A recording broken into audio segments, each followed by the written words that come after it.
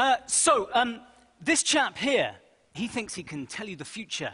His name is Nostradamus, although here the sun have made him look a little bit like Sean Connery.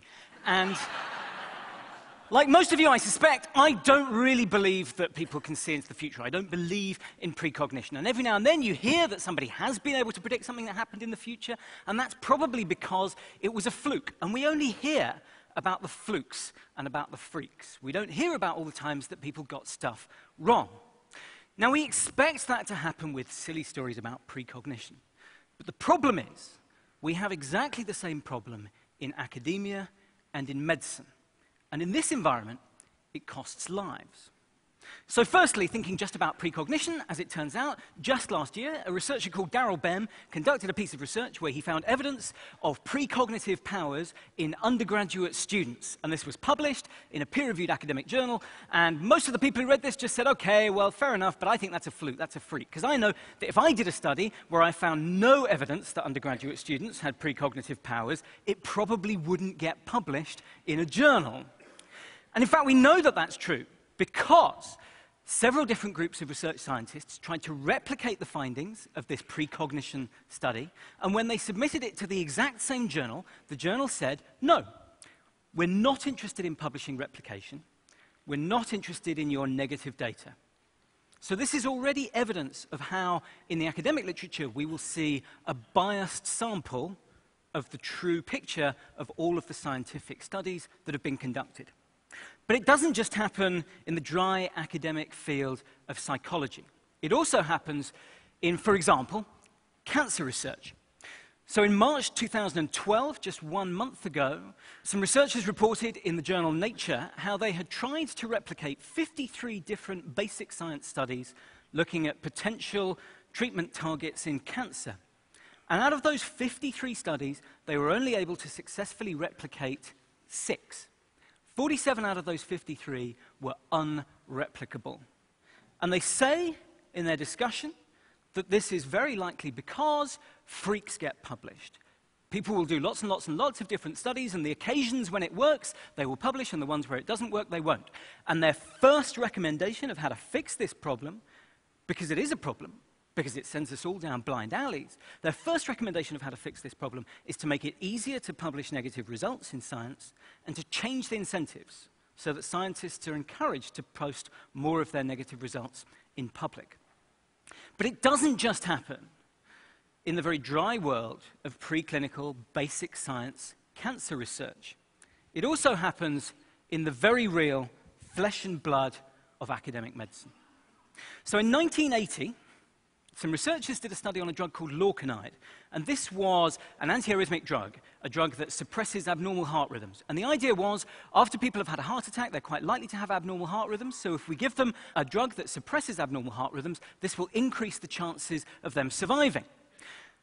Early on in its development, they did a very small trial, just under 100 patients. 50 patients got Lorcainide, and of those patients, 10 died. Another 50 patients got a dummy placebo sugar pill with no active ingredient, and only one of them died. So they rightly regarded this drug as a failure, and its commercial development was stopped. And because its commercial development was stopped, this trial was never published. Unfortunately, over the course of the next five, ten years, other companies had the same idea about drugs that would prevent arrhythmias in people who've had heart attacks. These drugs were brought to market, they were prescribed very widely because heart attacks are a very common thing. And it took so long for us to find out that these drugs also caused an increased rate of death that before we detected that safety signal, over 100,000 people died unnecessarily in America from the prescription of antiarrhythmic drugs. Now, actually, in 1993, the researchers who did that 1980 study, that early study, published a mea culpa, an apology to the scientific community, in which they said, when we carried out our study in 1980, we thought that the increased death rate that occurred in the Lorcainide group was an effect of chance.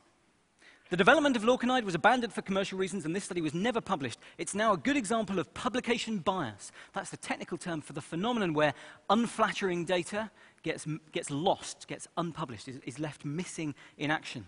And they say the results described here might have provided an early warning of trouble ahead. Now, these are stories from basic science.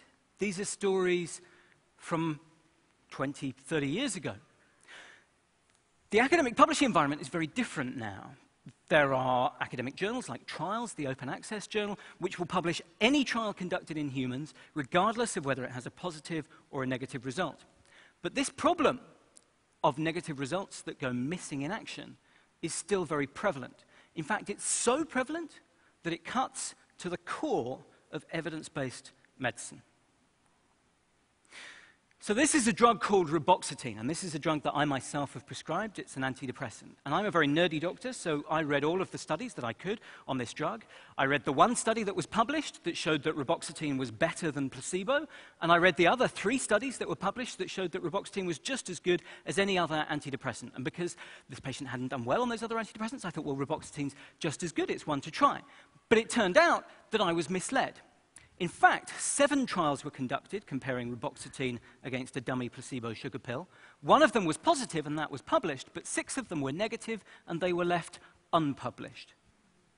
Three trials were published comparing reboxetine against other antidepressants, in which reboxetine was just as good, and they were published, but three times as many patients' worth of data was collected, which showed that reboxetine was worse than those other treatments, and those trials were not published.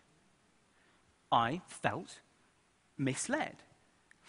Now, you might say, well, that's an extreme and unusual example, and I wouldn't want to be guilty of the same kind of cherry picking and selective referencing that I'm accusing other people of. But it turns out that this phenomenon of publication bias has actually been very, very well studied. So here is one example of how you approach it.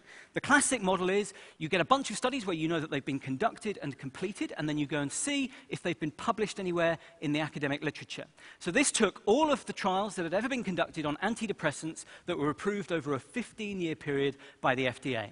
They took all of the trials which were submitted to the FDA as part of the approval package. So that's not all of the trials that were ever conducted on these drugs, because we can never know if we have those, but it is the ones that were conducted in order to get the marketing authorization. And then they went to see if these trials had been published in the peer reviewed academic literature. And this is what they found it was pretty much a 50 50 split. Half of these trials were positive, half of them were negative in reality. But when they went to look for these trials in the peer reviewed academic literature, what they found was a very different picture. Only three of the negative trials were published, but all but one of the positive trials were published. Now, if we just flick back and forth between those two, you can see what a staggering difference there was between reality and what doctors, patients, commissioners of health services, and academics were able to see in the peer reviewed academic literature. We were misled. And this is a systematic flaw in the core of medicine. In fact, there have been so many studies conducted on publication bias now over 100 that they've been collected in a systematic review published in 2010 that took every single study on publication bias that they could find. Publication bias affects every field of medicine. About half of all trials on average go missing in action, and we know that positive findings are around twice as likely to be published as negative findings. This is a cancer at the core of evidence based medicine. If I flipped a coin a hundred times, but then withheld the results from you from half of those tosses, I could make it look as if I had a coin that always came up heads. But that wouldn't mean that I had a two headed coin. That would mean that I was a chancer and you were an idiot for letting me get away with it. But this is exactly what we blindly tolerate in the whole of evidence based medicine. And to me, this is research misconduct if I conducted one study and I withheld half of the data points from that one study, you would rightly accuse me, essentially, of research fraud. And yet, for some reason, if somebody conducts 10 studies but only publishes the five that give the result that they want, we don't consider that to be research misconduct. And when that responsibility is diffused between a whole network of researchers, academics, industry sponsors, journal editors, for some reason we find it more acceptable. But the effect on patients is damning. And this is happening right now, today. This is a drug called Tamiflu. Tamiflu is a drug which governments around the world have spent billions and billions of dollars on stockpiling.